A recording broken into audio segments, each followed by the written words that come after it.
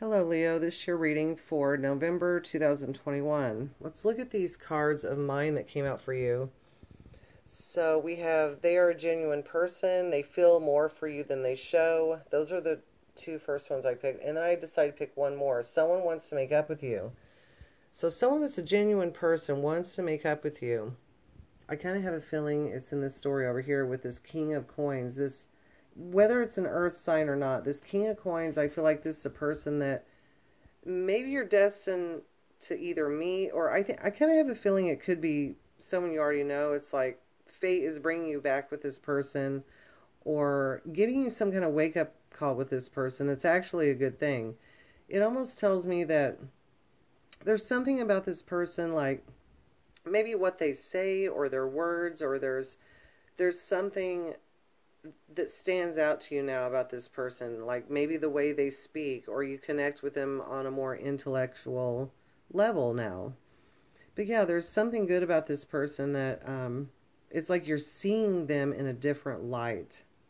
This could be someone you meet or have met at a get together through family or friends at a party or something like that. Or you're going to go out with them soon Okay, so in in these other cards here, we had deceit in one of them. The Archangel Ariel must be with you. So she is all about creativity.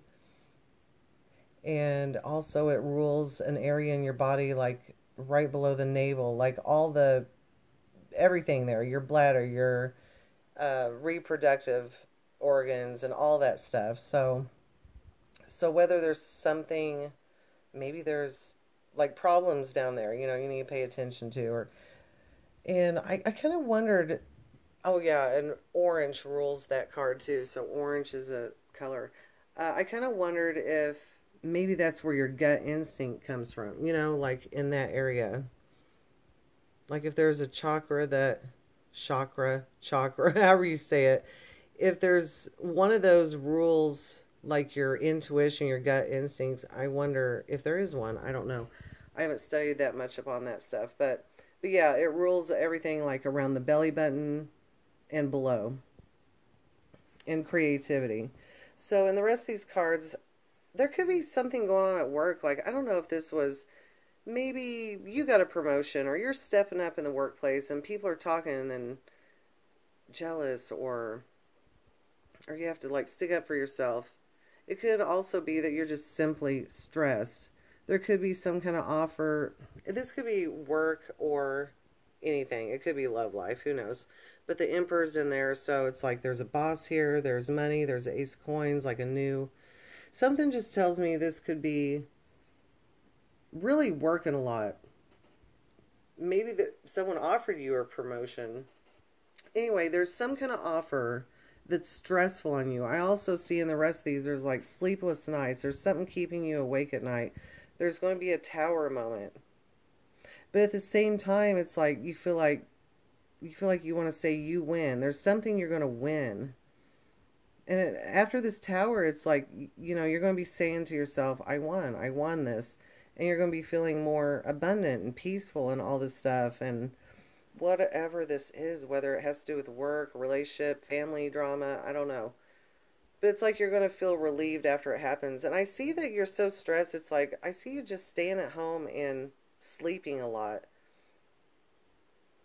There also could be, there also could be like a,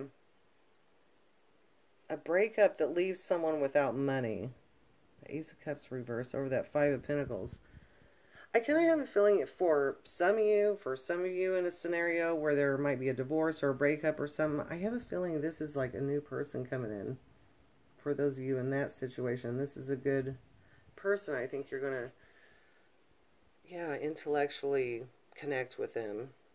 There's something about that person they're going to say. You guys are going to have a conversation, or it's like all of a sudden your blinders come off and you see them for who they really are, but not in a bad way. I think it's going to be a good thing. But just remember this card somewhere in the mix. I don't, like I say, always say, that deceit card doesn't even have to be about your partner or new love or what. It could be anywhere in your life. It could be at work or in your family or a circle of friends, but there's some kind of deceit. But since all these cards came out, that just tells me that I don't know. I think it's this person down here, this earth sign, or someone who is very much like an earth sign, very stable, very mature, very stable. The king of coins, so that's someone that's, you know, got it going on and they're they're a little bit older and mature and but you will have a tower moment, I guess. But yeah, like I said, it'll bring bring you some kind of victory somehow or another. So Leo, that is your reading for November 2021. I'll see you next time.